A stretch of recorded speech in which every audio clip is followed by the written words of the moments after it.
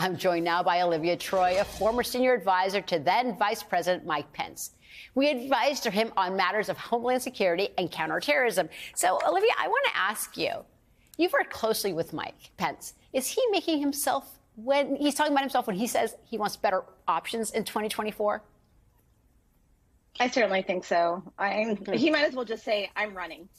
I'm gonna, I'm gonna run," um, and I think he needs to start to distinguish himself from uh, whatever the candidate platform is going to look like. And right now, it's Trump.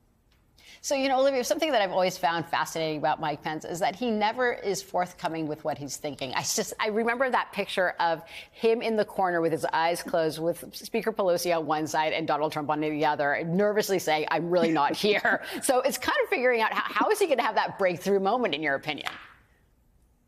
Yeah, imagine what it was like to work for him. Those moments too. I feel like your frustration. I probably felt that every single day before we went out, especially in, during the COVID pandemic with the with the press conferences when he would roll his eyes right uh, before he was going to go on stage mm-hmm. after Trump had been speaking. I mean, this is a reality uh, of the dyna- dynamic between these two men.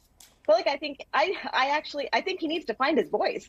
I hmm. mean, if you are if you are planning to run for president and you want to be in that Oval Office, start fighting for yourself. I mean, when are you going to actually take a stand for yourself and actually start to make a difference here? And so far, I'm not seeing that. I mean, I think it's it's actually it's, it's embarrassing. I think it's completely humiliating to him to continue to pander. And I feel like, especially this week, what I've been seeing is someone who's basically become a Trump apologist. Um, and I think that's completely humiliating for someone who was almost killed by the man. I mean, it's infuriating to watch, to be honest, as someone who worked for him. Yeah, I mean, the title of the book is so charming, so help me God. A new survey published Sunday found that 46% of Republicans would prefer it if Florida Governor Ron DeSantis took the GOP nomination. 39% are still with Trump. What do you make of that? You know, I think that's interesting. I don't actually differentiate much between DeSantis and his demeanor and his policies. I've been in meetings with DeSantis, and I certainly, uh, his personality is not one that I would actually have respect for, to be honest. Hmm. I've been in meetings with Mike Pence. He's a gentleman in meetings, he's respectful towards people. I've seen him go out of his way uh, to greet people, to be kind to them. But I'll say this the thing is, DeSantis, I think, has the personality that Trump has that brought people the that brought the attention to Trump he's sort of kind of that person uh, where he'll engage in the culture wars, he'll engage in the mudslinging. So I think, you know, I think Trump will, will meet his match possibly. But he's also not as engaging as Trump. So that'll be kind of interesting to watch. But I think if Mike Pence is, even stands a chance, when you look at those two people in comparison to Mike Pence, who gave a town hall this week that I thought was just completely boring, disingenuous, and just like not realistic of, uh, of, of him, I think you've got a problem here. I also don't think that Mike Pence is doing much to distinguish himself from Trump. I, I, he's not talking about policy. He's not doing anything. Instead, it's just sort of uh, constant pandering to the man he once worked for. You can tout policies from the Trump administration and say, yeah, I'm proud of the jobs performance or things like that. But then also separate yourself and not go after the Department of Justice, for example, like the rest of the Republicans are, which I, it's my understanding that Pence did that last night. He called it politicized. How are you different then? How are you different than Trump and any of these other people? You know, it's really interesting that you call Pence a Trump apologist because earlier this week, the former vice president told Margaret Brennan of CBS News that he would not be participating in the January 6th committee hearings. Take a listen to this. I never stood in the way of senior members of my team cooperating with the committee and testifying.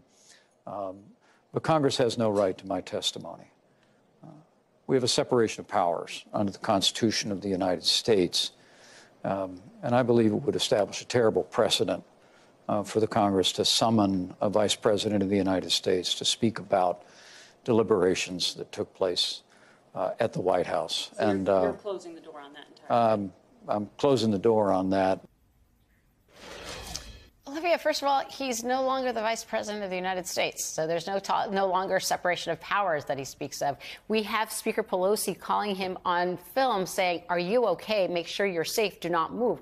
What more does he need? Why is he not actually presenting himself to the committee? Talk to me a little bit about that.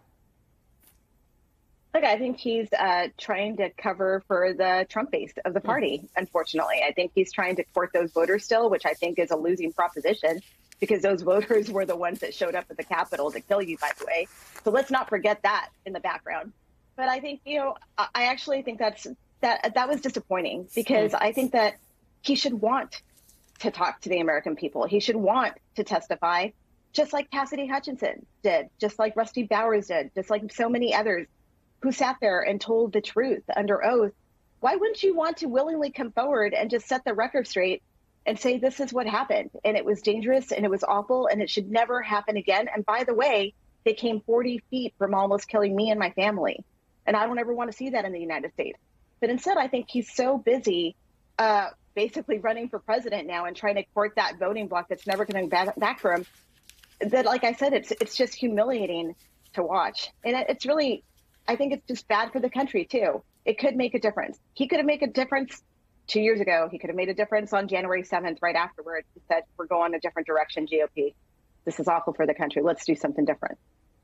Yeah, and I, I, think what's so interesting is that the voters broke the fever, and I think it was because we were able to see so much transparency through the January 6th. I don't think anybody imagined how completely entrenched the administration itself was involved in this. And the fact that he doesn't want to testify, I think you're right, is not sounding the alarm on how dangerous the MAGA Republican wing of the party really is. Olivia Troye, thank you so much for joining me.